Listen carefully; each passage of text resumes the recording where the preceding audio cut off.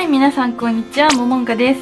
今日はですね、私はもう、えっと、高校生の時とか中学生の時から、すごい目つきが悪いとか、なんか死んだ魚みたいな目をしてるとか、なんかまあとにかく目が死んでいるって言われることが多くて、で、それで、まあどうやったらね、この目つきの悪い目を解消できるのかって思った時に前ねその絆創膏でその奥二重奥二重の自分を二重にするっていう絆創膏の二重のやり方を前紹介したんですけど今回はアイメイクをやっていきたいと思います。もしよければ最後までご覧ください。はい私のアイメイク先に言っとくと私が常にこう可愛い子を見て研究してるんですけど私はハロプロがすごい好きででハロプロの子ってすごいねアイドル大体だと思うんですけど、まあ、メイクで努力してすごく可愛くなってる子が多くてでそうなった時に可愛いのポイントって何だろうって思った時に私はこの鼻が高いとか顔が小さいとかあとはこう目がでかいとか眉毛が整ってるとかそういうことは一切ないのでそれ以外で人の可愛いって何を見るんだろうって思った時に目だと思うんですよ。まあ、肌もねもちろん大切なので肌ももちろんちゃんとしてるんですけど人の目を見た時に二重と涙袋があれば大体可愛く見れる見えるんですよ。でなので私はもう二重と涙袋を重点的にアイメイクをしてますまあまつげもバッチリ上げてどれだけこう目の印象を変えるかっていうことを重点的にメイクをしているのでそのね目が死んでるとか目つきが悪いとか言われる方特に参考になるかなと思います。はいそれじゃあ始めていきます。もう相変わらずうんいつも言っとるけどちょっと幸薄い顔。まずですねアイシャドウを塗る前にアイシャドウベースをつけていくんですけどこれ最近ね使ってなかったんやけど使ってない時に気づいたんですよ。あやっぱこれいるわと思って。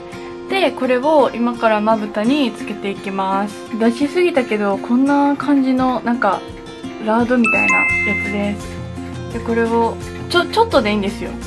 今さきつけすぎたけどちょっとね手にこうやって伸ばしながらまぶた全体につけていきます。下まぶたにもつけていきます。ん？下？涙袋か。はい、アイシャドウはエクセルのアイシャドウを使っていきます。エチュードハウス使おうと思ったんやけど ちょっと難しかった。とね。まずこの色をまぶた全体に塗っていきます。色はねこんなこんな感じの色です。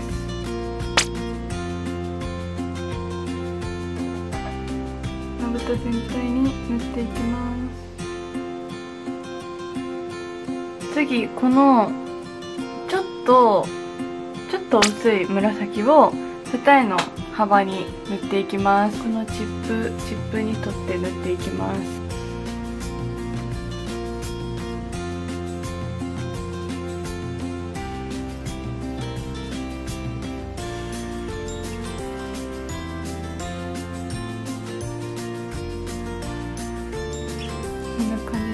この一番濃い紫の紫なんかなこれ。うん。紫の色を目の際に塗っていきます。ここに出して塗っていきます。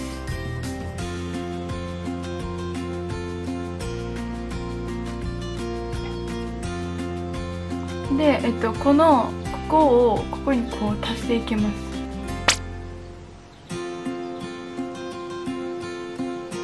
今から涙袋を描いていくんですけど前まではアイブロウペンシルを使ってたんやけど今回はちょっとすごいいいものを 借りました。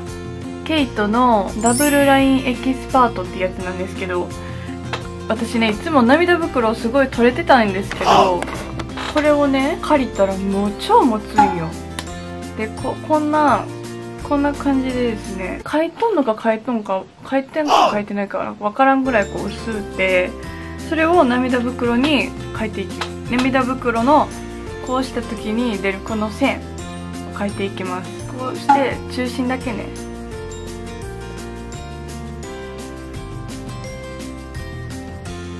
ほら線ができてちょっとぼかします。乾く前にね。乾く前にぼかして次涙袋をぷっくりさせるためにセザンヌのシングルカラーアイシャドウ01番です。これをこのまぶたの下まぶたのところに塗っていきます。こうすると大体ぷっくり。小指で取って塗っていきます。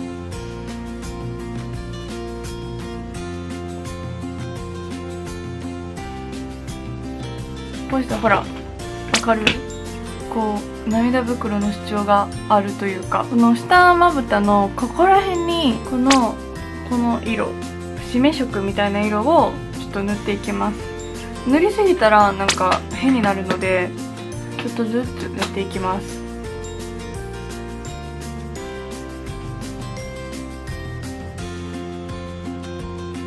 はい塗りました。わかる？左右違うの。まぶたをキラキラさせるためにクリオのプリズムエアをまぶたの中心とサイドぼかしてと涙袋に塗っていきます。色がこんな感じでめっちゃ可愛い。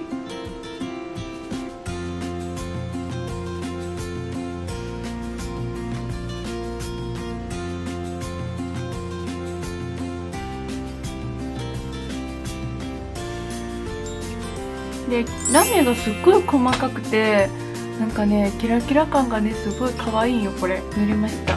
どう？このキラキラするだけでかなり印象が変わります。アイライナーはキャンメイクのクリーミータッチライナー。これめっちゃおすすめ。黒とかあとはなんか黒に近い茶色も出たんですけど私は今んとこ茶色を使ってます。これ本当に落ちないんですよ。私これあのいろいろなんかアイライナー使ってきたんですけどリキッドとか。これがダントツやった。まず目頭。目頭と目尻だけに塗って引いていきます。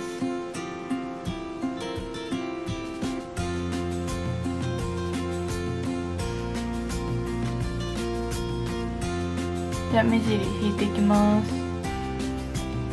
目尻の引き方も特にこだわりは？ないんですけどこう目尻に沿って。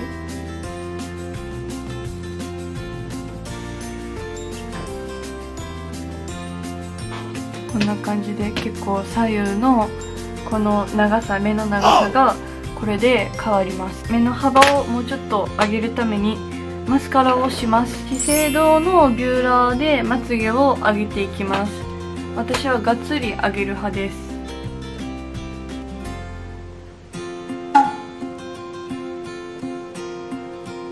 かねまつげが上がってるだけですごい可愛く見えるんよね。こうやってしただけでほら全然目の大きさちゃうくない？やばない？これ。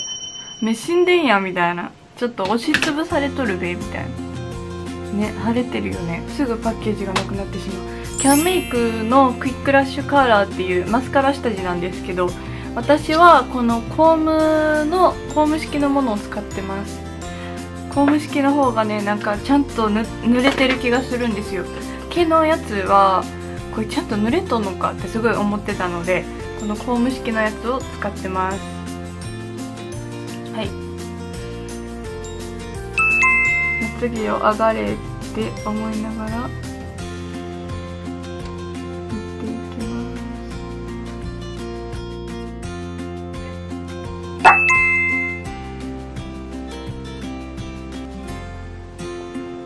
す。次。キャンメイクのフレアリングカールマスカラボリュームプラスを使っていきます。この先をちょっとティッシュで拭きましてマスカラをしていきます。